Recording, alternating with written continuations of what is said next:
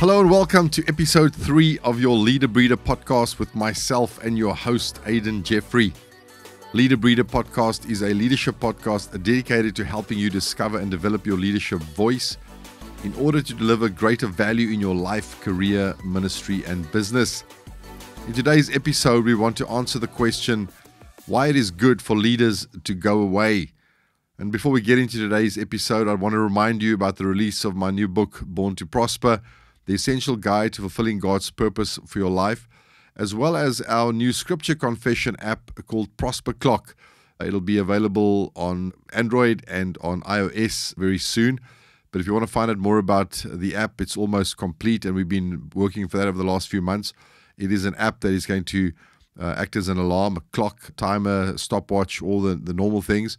But it also allows you to record uh, scripture verses and uh, declarations over your life and triggers it off uh, when you set that alarm, and you can actually hear yourself confessing God's word over your own life because the Bible said faith comes by hearing and hearing by the word of God. So I'm excited for that app as it's part of the whole Born to Prosper bouquet uh, with all the different devotionals, uh, the seminars, all those things. You can go and find out more about these great resources at iamborntoprosper.com. And we're going to continue on our journey together to make you understand and get you in your spirit, man to understand that uh, you are born to prosper on this earth for purpose and you are born again to prosper in eternity for permanence. And uh, one more thing I just want to ask you and appreciate if you would uh, be so kind to subscribe to the Leader Breeders podcast as well as to share this episode and future episodes with your world. Thank you to those of you that have been giving me feedback and encouraging words and telling me how much the podcasts have been helping you and blessing you, as well as our 90 day daily devotional podcasts that have been out as well. And then also tomorrow, you'll be able to get my Q&A podcast that we did recently. We'll be doing those on a regular basis where we'll be talking to prominent leaders around the world, nationally and internationally, and discussing their leadership journey and their leadership process with them. And tomorrow you'll be able to get for the first time episode 1 of our Q&A Leader Breeder podcast with Pastor Rick Godwin. I recently interviewed him and he had such profound truths to teach so tomorrow you can access that as well. So please share these episodes and let's continue on our journey of understanding why leadership is so important. So I'm expecting for today's episode. And so let's set out to answer the question today why it is good for leaders to go away. Now, before you think that I'm thinking that, you know, there's no need for leadership, let me uh, clarify that for you because one of the the greatest and most profound leaders ever to walk on the face of the planet was our Lord and Savior Jesus Christ. And Jesus at one point said this in John 16, verse 7 to his disciples He said, Nevertheless, I tell you the truth. It is to your advantage that I go away, for if I do not go away, the Helper will not come to you. But if I depart, I will send him to you. You know, we've looked at the last few episodes. Our first episode, we looked at our leaders developed or our leaders born.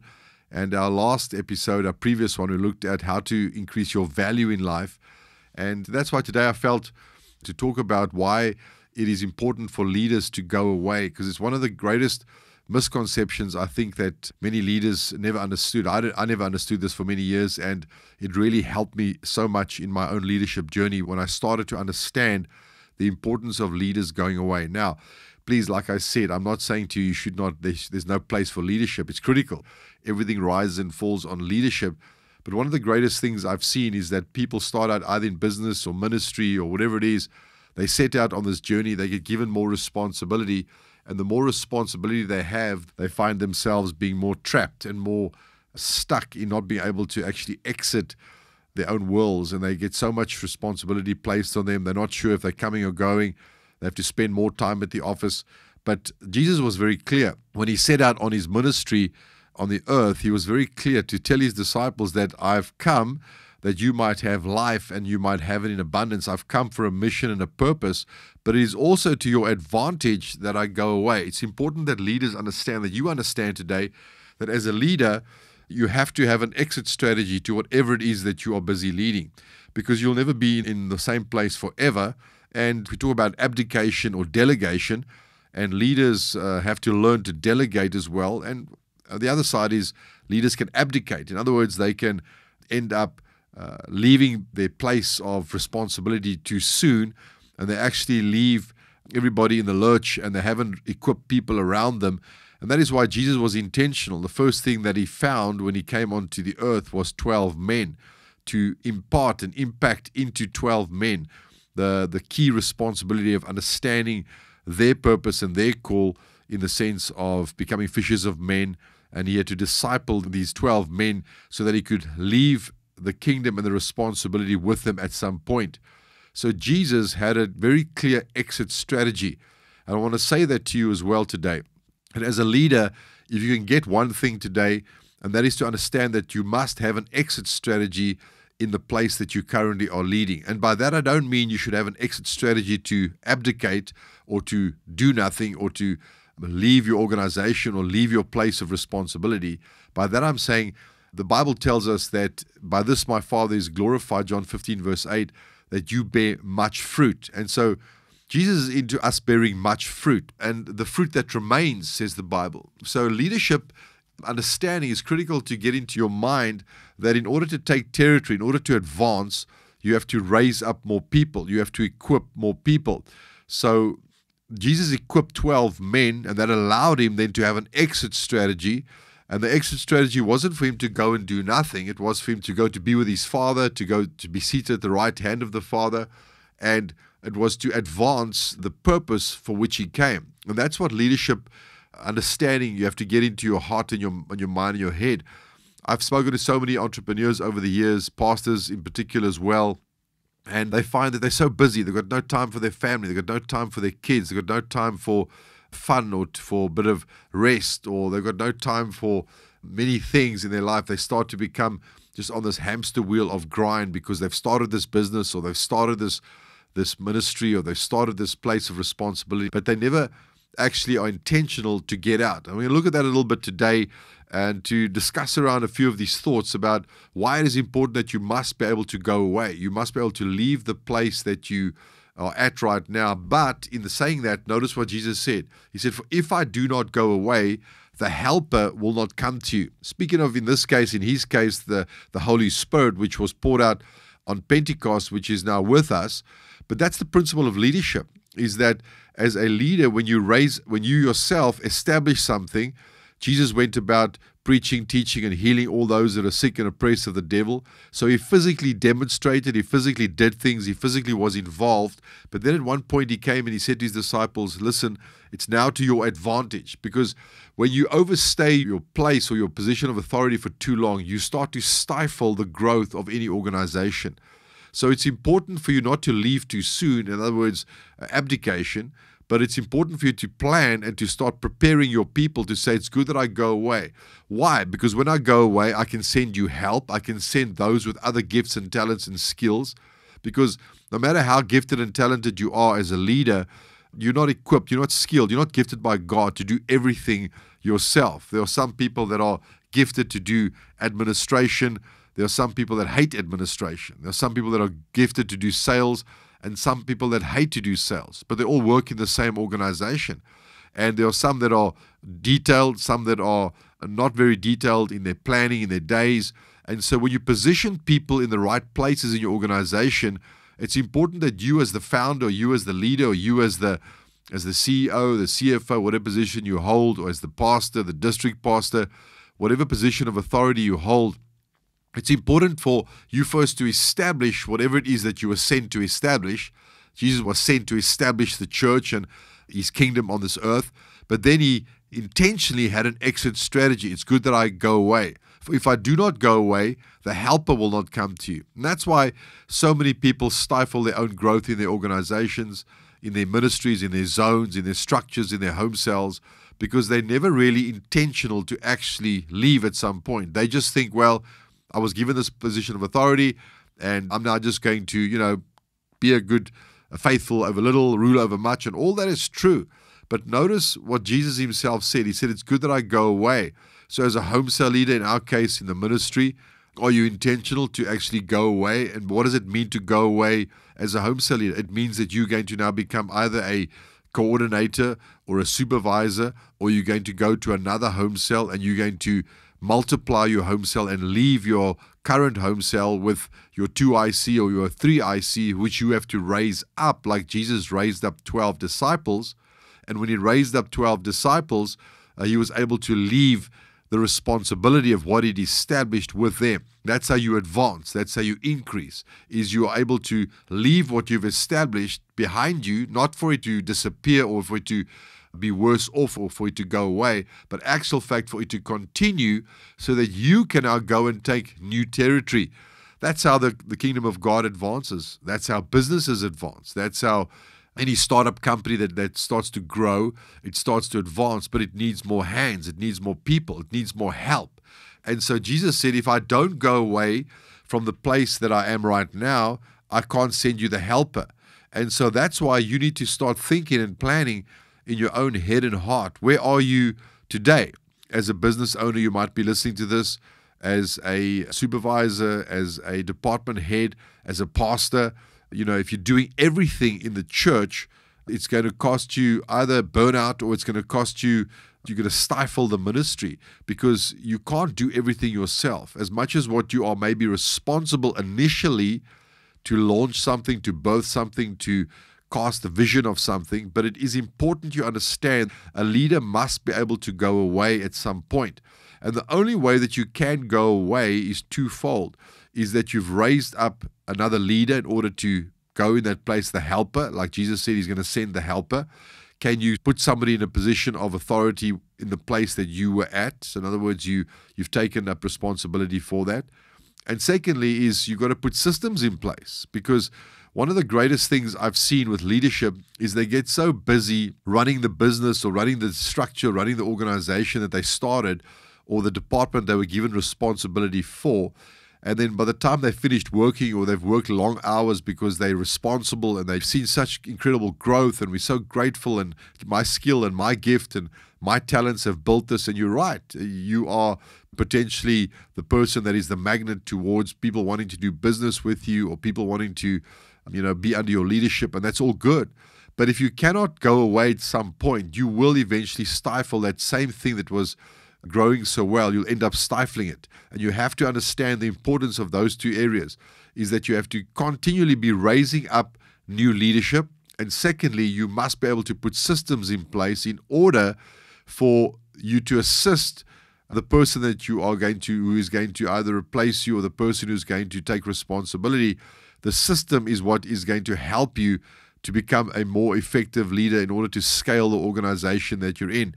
You know, when I was in business years ago, I had a, a I was in the cellular industry, and the industry that I was in, we weren't earning residual income. In other words, you know, ongoing revenue. We were earning monthly. You know, every thirty days we we did reconciliations of the contracts we signed and the business we did, and then they'd pay you out a lump sum, and then you were basically back to zero every thirty days. And so when I got the revelation of residual income, of pipeline income, of making money while you're not there, which we'll cover in the episodes ahead about why it's important for you to build pipeline income in any facet ministry. That's part of your ability to go away. Is if you every 30 days you you're back to zero, you know you've got to be there because I'm responsible. I can't get out of this place. That is why part of your system development has to also be thought towards your pipeline possibilities, your pipeline income, and we'll discuss that in the episodes ahead. But I was in business years ago and I realized that, you know, I couldn't go away. Every time somebody wanted to come into my store, my cellular business, they always asked for me because I was the cell phone guy. I was the man. I was the person that everybody looked towards because I had the knowledge. And then the Lord started to show me this was it is to my advantage that I go away. If I don't go away, I can't send you the helper. And when I started to, you know, meditate on this and and reason on this, I've shared this in a few episodes past as well is that Matthew 25, when Jesus speaks about the delegation of the talents, 5, 2, and 1, in Matthew 25, 14, he says what? He says, For the kingdom of heaven is like a man traveling to a far country who called his own servants and delivered his goods to them. That's what the Lord said to me. He said, You have to be able to go to a far country because how do you stay on the cutting edge of what's happening in your industry? How do you get away from the four walls of your organization to go and learn what's the new trends, what's upcoming.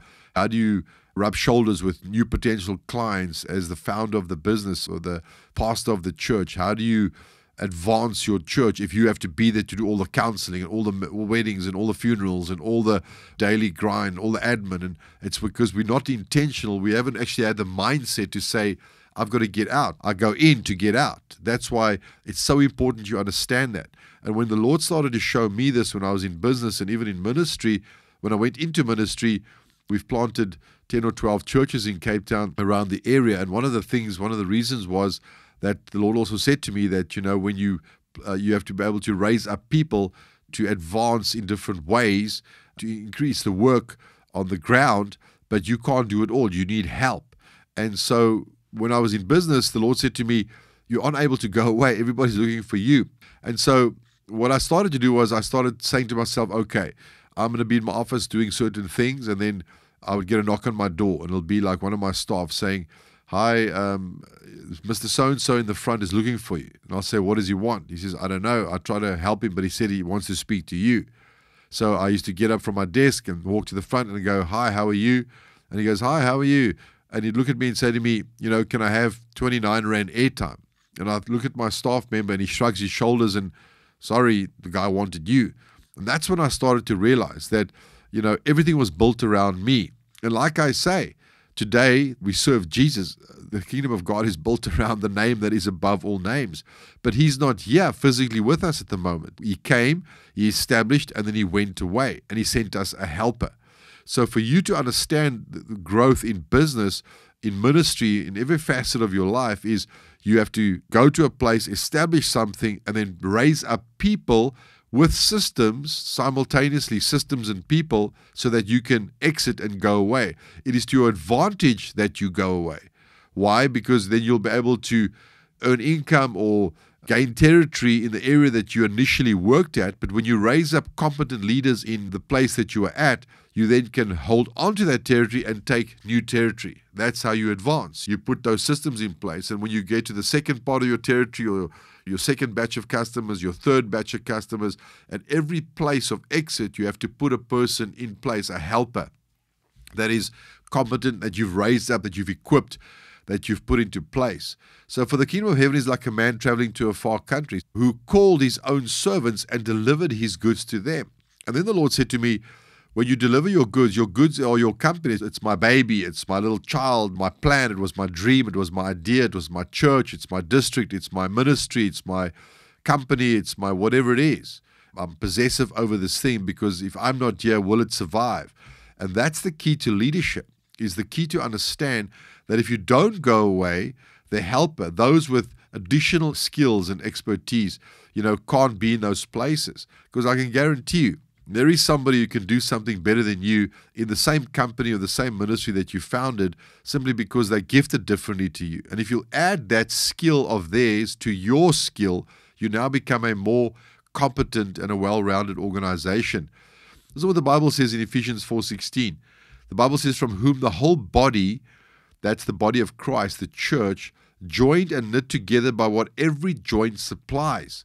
So there is a person that is waiting to be employed in your organization or to be employed in your district or to be equipped or to be pulled into that is actually going to become part of completing the puzzle or the body, putting the working parts in place that they can supply, their skill can supply. But if you're in the way, if you're controlling everything to the point where, you know, there's no place for anybody else, you are going to stifle your growth and you're going to end up being that person that is going to be either, like I said, burnt out or you're going to stifle the growth of that organization.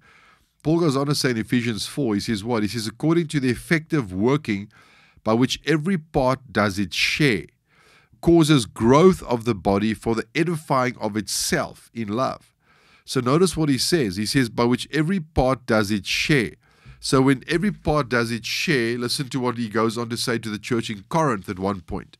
He says in 1 Corinthians 12 21, he says, And the eye cannot say to the hand, I have no need of you, nor again the head to the feet, I have no need of you. No, much rather, those members of the body which seem to be weaker are necessary. So sometimes your strength can actually become your weakness. Because when you think in your strength, you go, but no one can do it like I can do it. And that actually becomes a weakness because there is somebody else in the member which seems to be weaker, but they are necessary. So listen what he says. They, they seem to be, and they most likely are weaker than you when it comes to your gifting because you are you. You are gifted like you are gifted. And, you know, that's why if you need two of you, there's no need for one of you if you, if you both are identical. So notice Paul says, imitate me. He doesn't say clone me or, or copy me. He says, take attributes from our leadership and follow that as I follow Christ, as I take attributes from Christ's life and I follow that. But if you're trying to clone somebody or you're trying to be like somebody else, you know, and you're not yourself, who God gifted you to be, can't add value to the place that you're actually supposed to add value. And when you bring your skill and I bring my skill, and the other person brings their skill, now we start to form a body or an organization or a, a structure or a home cell, and it becomes well rounded. So listen what he goes on to say in verse 23. He says, And those members of the body which we think to be less honorable, on these we bestow greater honor, and our unpresentable parts have greater modesty, but our presentable parts have no need. So he says sometimes there's parts of you that, that there's no need of it now anymore. There's somebody else that's actually very gifted and they'd love to do what you are doing, and you're frustrated in what you're doing because you're doing too much but there is actually somebody else who'd love to do what you're doing, but you need to get out the way. It's good for you to go away. It's to your advantage that you go away. But he says this, he says, But God composed the body, having given greater honor to the part which lacks it, that there should be no schism, no division in the body, but that the members should have the same care for one another. And if one member suffers, all the members suffer with it. And if one member is honored, all the members rejoice with it. So, this is what Paul is saying to the church. He's saying that um, you must understand the importance of you need to go, establish, and then get out the way. And when you get out the way, you send a helper, you send a person who's competent, either employed or you've raised up in the organization to place in that place. And if you look at so many organizations that are pastors, I see they just they can't seem to get past, you know, their own sort of gifting. And I don't criticize pastors, I don't criticize businessmen per se, because you are the founder, you are the person who saw the idea, and you've taken a lot of responsibility, a lot of you know, guts and determination, blood, sweat, and tears to get you to where you are. But, you know, if you look today at companies like around the world, successful, you know, organizations, Apple, for example, the iPad that I'm, you know, referring to today, or my notes and things like that, it was a guy called Steve Jobs. I mean, he's no longer on the earth. He died of cancer, but his, his organization has continued to flourish. It's actually become more successful since he's gone away. Look at Jesus and his church. I mean, imagine if Jesus, you know, had to do the same thing over and over and over and over again for 2,000 years. You know, if he was immortal and he never went away, you know, it'll all be just, oh, well, we're just going to watch Jesus do his thing. But eventually, what he did was he put the responsibility back into our hands. First, with his 12 disciples, and then he told them to go and make disciples of all nations. He told them to go and raise up more people. And so, if you understand that conveyor belt of continually sending people into places, and then when you go away, you then hold the person that you've placed over your previous position of authority, you then hold them accountable to then duplicate themselves. And so, this continual conveyor belt uh, continues. In ministry, in particular, you know, you find that pastors, we shepherds, we build relationships with people and our hearts become knitted to the people. And if you stay in that place too long, where your heart is is knitted too long to the people, uh, although you know we love you, Pastor, you're a great leader. Thank you so much for your impact in my life, Pastor. That's all good initially. But Jesus also, he was, you know, the one day they threw palm branches and the next day they said, crucify him. So you're going to have ups and downs in leadership. But ultimately, you have to keep the, purpose of why you started that business the forefront of what you're doing. You can't get involved with too friendly with the customers or too friendly with the, the members. And, and by that, I don't mean you should be unfriendly to the members. I'm speaking about our job as the fivefold ministry is to equip the believer to do the work of the ministry. So if you understand that in leadership, it's the same. You know, when I established a few businesses as well, I started in the cellular industry.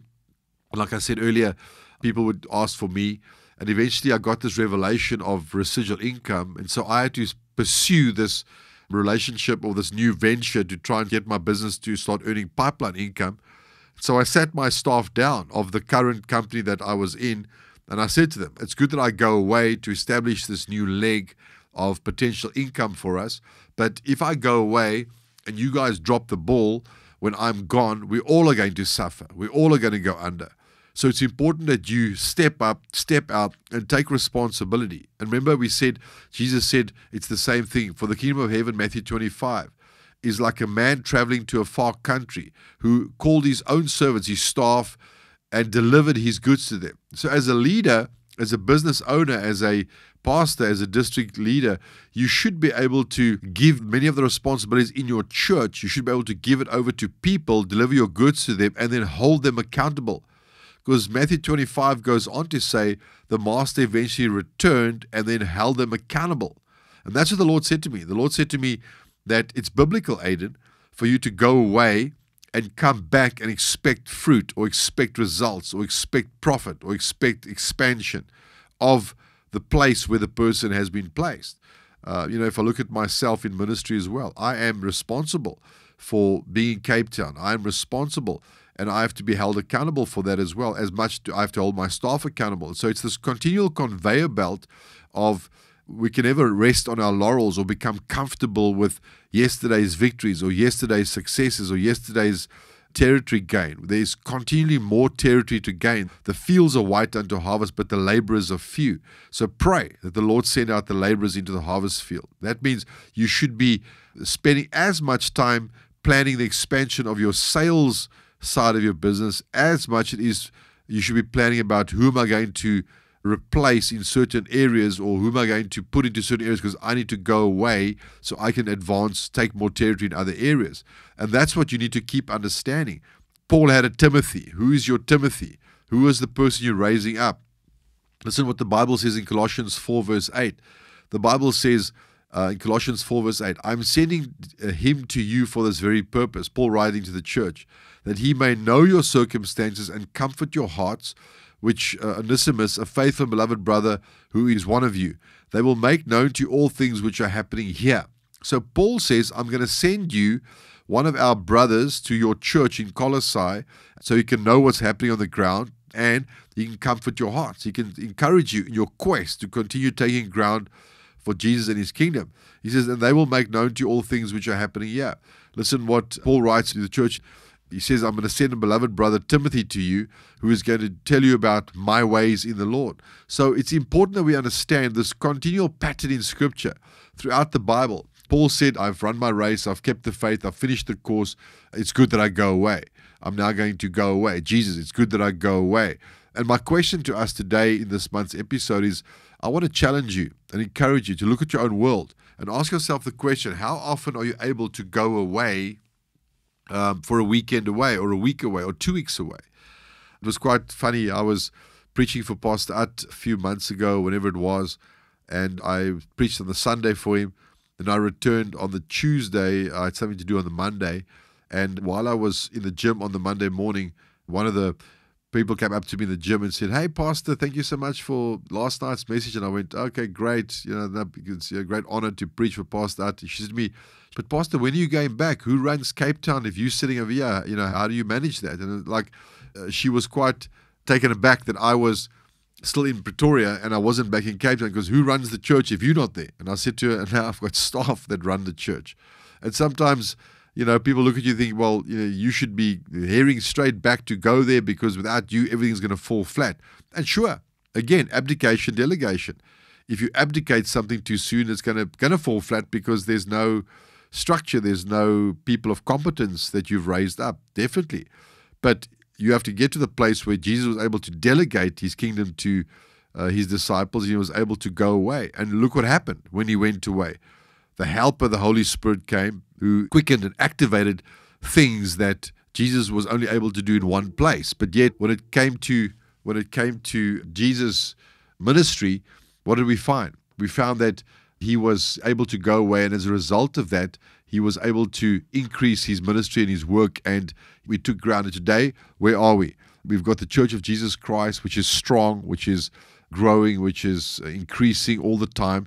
Why? Because Jesus was able to go away. And that's my challenge to you today is I want to say to you today as well it's good that you go away. Notice not leave and don't do anything and abdicate your position and sit uh, on your rusty dusty now and see your company or your structure or your church dissipate around you. But it is critical that you are intentional to raise up leaders and as well as getting home at night is not just worrying about your tomorrow, how you'll pay the bills or what you'll eat or drink, but it's also it's critical that you sit down at night and you actually are intentional to give some of your week to system development and you know streamlining the flows of your organization your company and then coming back to your staff on a regular basis and shifting people's mindsets moving people into the right places to smooth out all the glitches in your organization the the bumps in the road and that's you that's part of your responsibility but so many people struggle to do that, not because they're bad people, it's because they, they're stuck in the grind of doing everything themselves.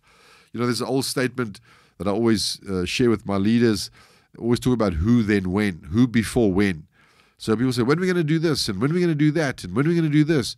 And my question always is, well, who's going to do it? Because if I have to do everything that the church or members or people suggest to me, there's going to be 65 things I have to do. But I'm only one person. So we have to be intentional to raise up who's. And when we raise up who's on a regular basis, and those who's are able to stand in the position of competence, in the position of responsibility, in the place that you were at initially, what's going to happen? Five is going to become 10, two will become four.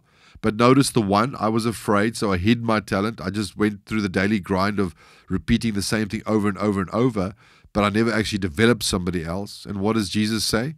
You lazy and wicked servant, for you knew that I demanded growth or increase, and now you've done nothing. You could have put my money with the bankers where I could have at least earned interest. And so I really just want to encourage you this month in your leadership development process. Perhaps you on a start out, you're starting out a young business. Well, you know, that's why most startups never start up is because the founder is so engrossed in doing everything himself or herself. They never are intentional to say, I need to send help, I need to get help, I need to raise up the help, whichever one comes first, whichever one you can afford first, either employing a person or else, you know, raising up somebody within your organization. So it's critical that you understand uh, your value component. We spoke of the last episode, you know, how to increase your value and income in life, and that's to the places you go, the books you read, the people you meet. So that never ends. That's your personal development of you. But now, once you know more, you you are more competent in your areas. How is your organization going to keep growing and taking territory if the people around you aren't growing? So part of your responsibility as well is to challenge the people around you. What books are you reading? You know, what seminars are you attending? What courses are you attending? And so this process it never ends. The leadership development, leadership succession, leadership continuation should never end. That's why governments stifle. That's why churches stifle, why businesses stifle, is because everything is built around the guy who started the company. Again, like I said, it's critical that as long as the person who started the company is alive and he's able or she's able, then that's fine. But what happens when they're not here? Uh, suddenly the person, you know, goes to be with the Lord, or suddenly the person, you know, uh, is incapacitated in some shape, form, or size, and now the whole company, you know, stands dead still because when that person leaves, everything stands still, and it's important. I don't say immediately. I mean, Jesus took three years to raise up his 12 disciples, so I don't say instantly. But how old's your company? Five years, 10 years, and you're still doing everything yourself? I want to encourage you. It is good that leaders must go away. Why is it good for leaders to go away? Jesus said, It's to your advantage that I go away. For if I do not go away, the Helper, the Holy Spirit, will not come to you.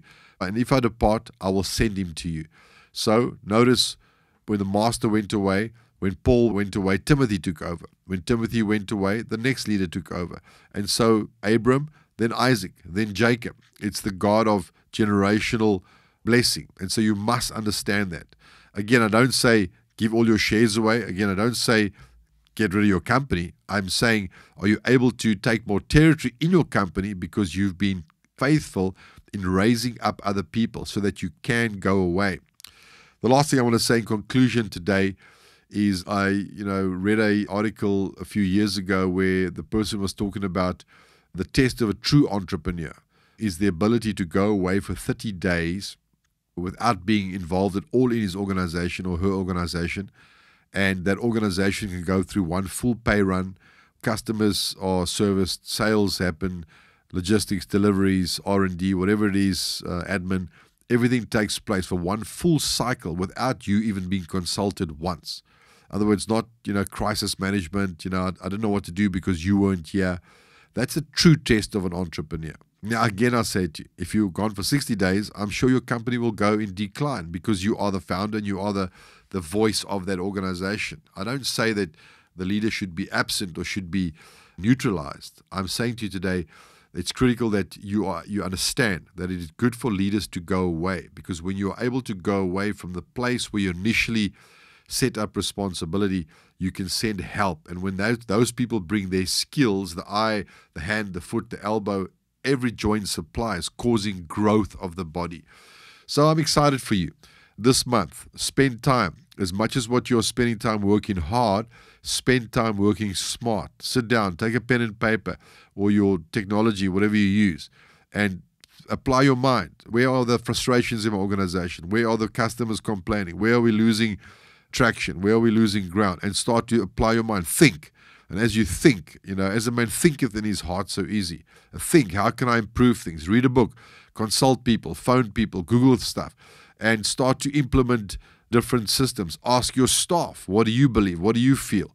And get uh, feedback from people on the ground, get the heartbeat of the people. And as you learn those things and you bring some shifts and changes, what seemed like bad or chaotic or detrimental to your organization is actually not that bad because you actually took sound advice and you were then able to say, well, okay, I realize. So if I'm in the way, I'm going to put this person here or whatever it might be. And as you do that, watch what's going to happen. You're going to see exponential growth. You're going to see God increase you, God bless you, God is going to take you to levels of blessing that you've never understood before because it's a biblical principle for leaders to be able to go away. So work at that this month.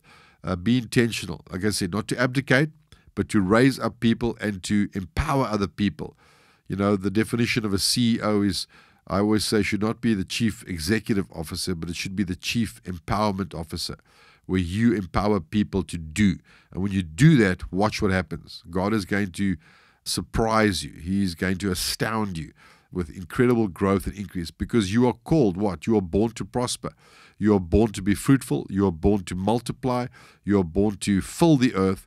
You are born to subdue it, subjection, and you are born to go into a place of dominion.